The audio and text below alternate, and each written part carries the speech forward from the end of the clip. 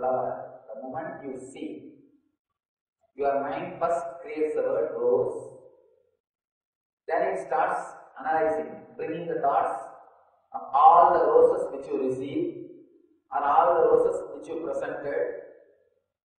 Then the thought moves, what was the mood which you experienced when you presented the rose or when you received the rose? And now next the thoughts related to the person who presented or received the roses. Within few seconds, you travel far away from the rose which is in front of you. The moment you create a word, you decided to travel away from the object. You decided to travel away from the reality which is in front of you. The words which is created inside your head moves you away from the reality. That is very clear. The moment you create the word rose, you think you understood rose.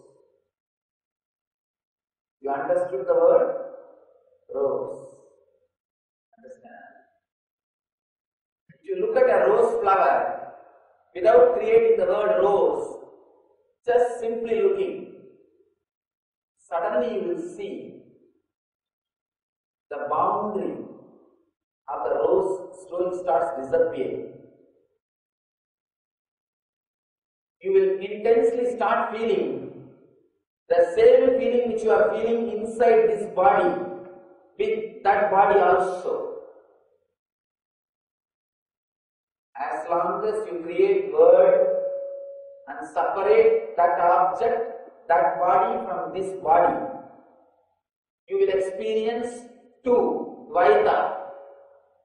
When you do not create word and just experience some object, suddenly you will start realizing, you will start experiencing the same life, intensity, energy which you are experiencing inside this skin, in that skin also.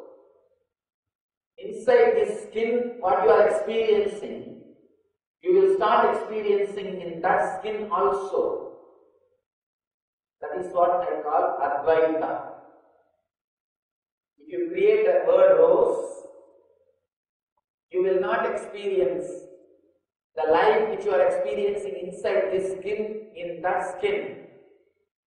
If you drop the word and relate with it in a very silent way, you will experience the same life, same vibration, same intensity which you are experiencing inside this skin, inside that skin also. That's what we call Advaita. That is what we call experience of oneness.